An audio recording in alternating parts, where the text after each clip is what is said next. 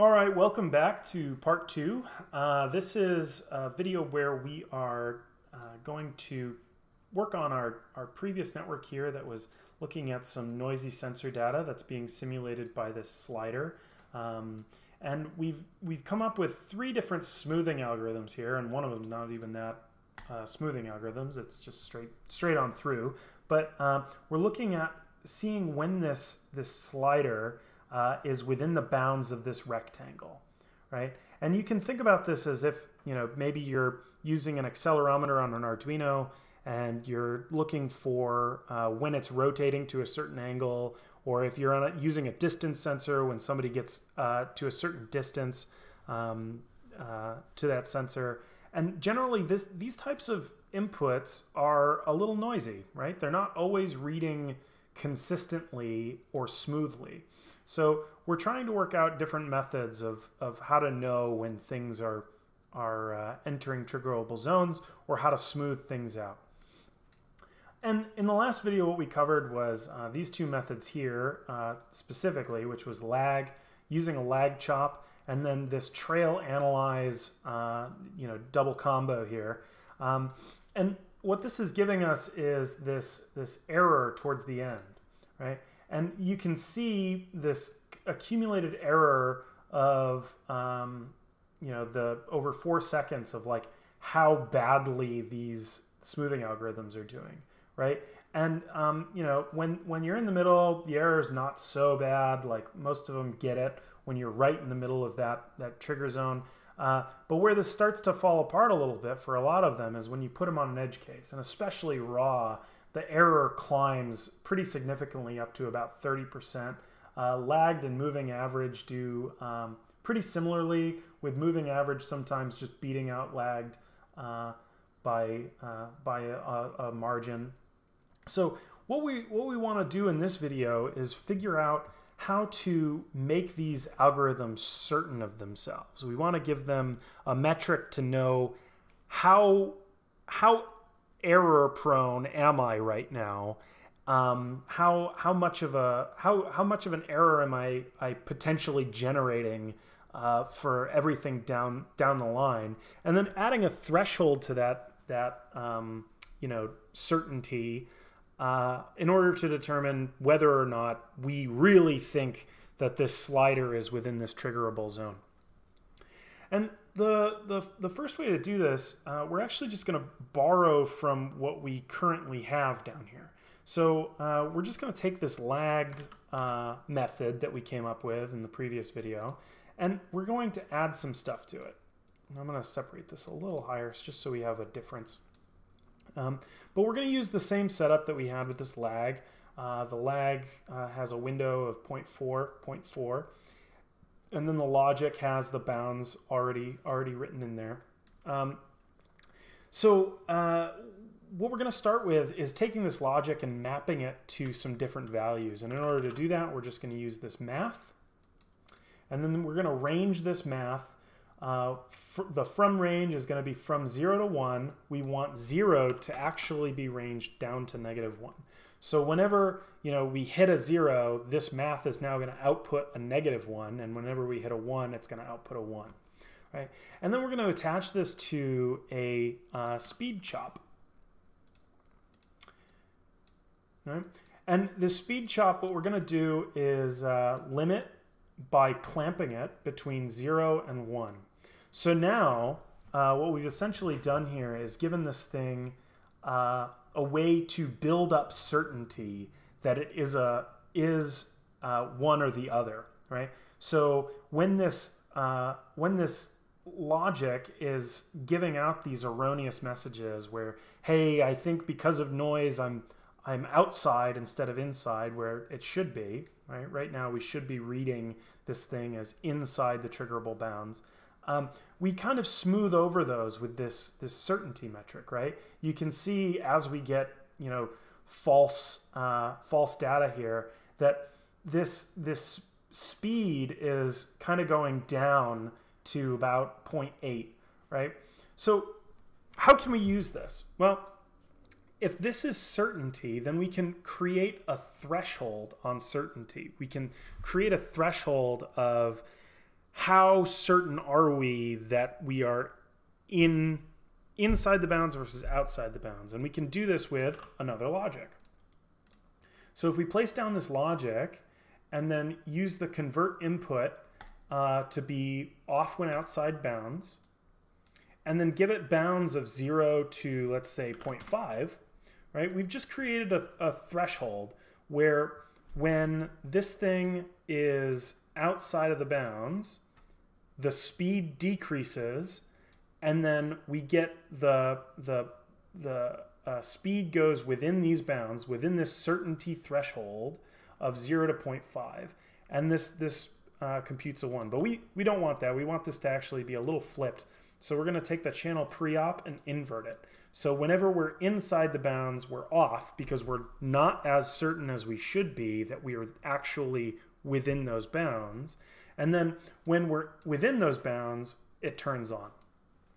And what this is giving you is a very smooth uh, way of approaching this problem, right? So if we were to put this on an edge case where um, you know it might trigger the lagged or the uh, moving average, this this uh, speed uh, and logic combo up here, this certainty metric, uh, tends to give you more consistent results.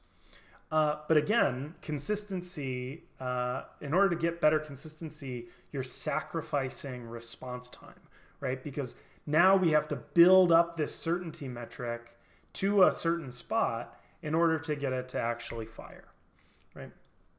Um, but uh, you know, that's just one of those trade-offs you have to balance when you're when you're making this thing. So I'm going to give this uh, a name again. I'm just going to reorder some of this stuff around. And I'm going to give this a different name. Uh, and we'll call this uh, lagged uh, accumulator. Or I guess, uh, yeah, we'll call it lagged accumulator. That works. And then we'll, we'll add this into our merge and we can start to look at um, you know, the error that we're getting from the lagged accumulator. And what you'll see here is as the, uh, as the knob goes in, we get a bit of error while that certainty's building, and then it goes out, right? So again, this is error based on the response time of the accumulator, um, and uh, that's that's what we're getting here.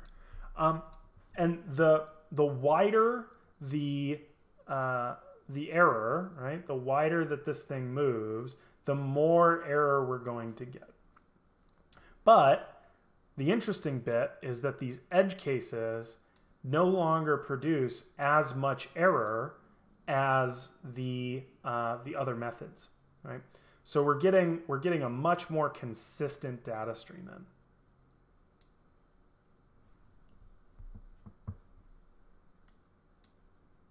So if we were to take this to some value where we're getting, uh, let's see if I can find it. Uh, if we're getting like a little bit of, or more error out of the, the lagged and, and moving average. Yeah, like here, right? You see that our lagged accumulator isn't getting as much error from that. And you know, this this block here, this this math speed and logic block, can be applied to the same thing. It can be applied to this um, this analyze as well. So if we take copy and paste and, and throw it up here, and then this math speed and logic, I'm gonna take the same thing and connect it in with those and then add a rename as well. And we'll call this one, uh, you know, the moving, moving average accumulator. And then add this thing into our merge block as well. Oop.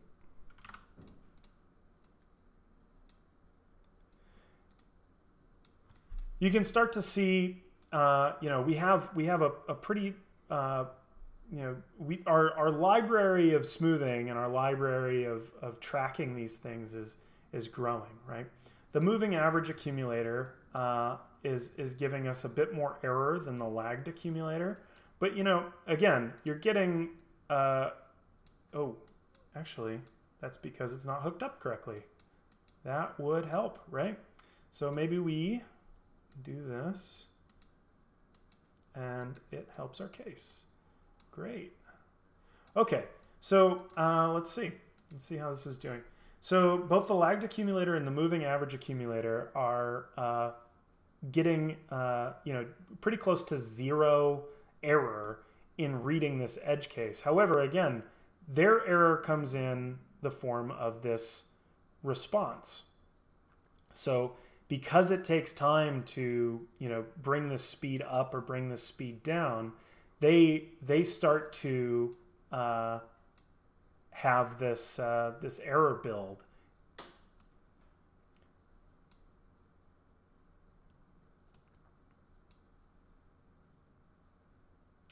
And you know this error you can you can start to reduce this response rate uh, just by changing your certainty threshold, right? Right now, you have to be 50% certain that you're in a spot before you trigger, right? So we can lower the certainty threshold to let's say 0.25 and maybe get some better response rate out of this, right? So we know that we're at zero.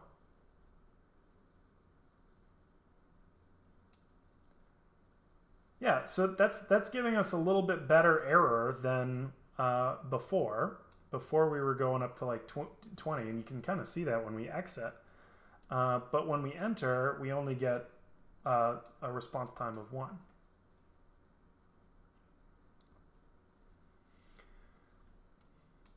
So this is this is a way to kind of preload whether or not the um, you know you're more focused on the entry or the exit response time, right? So as we enter, we have less error than as we exit, which will have more error. And that's because the speed builds up, right? It builds all the way up to 1, and then it has to come back from 1 in order to hit this 0.25 to trigger the, the exit, right? So we can do the same thing if we go above 0.5, right? And we can make the, uh, the entrance lagged and the exit be, you know, have a little, uh, only a, a tiny bit of error, right? While we still maintain that consistency of the edge case.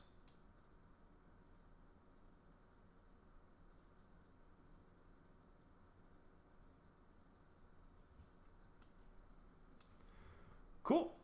So uh, the last thing that I want to talk about, uh, actually, uh, I guess it's going to have to wait for the next video because this one's already at 13 minutes. So this is going a little longer than I wanted it to. Uh, so I guess we'll break this up into one more video where we'll talk about how to use weights to create a uh, another type of smoothing algorithm.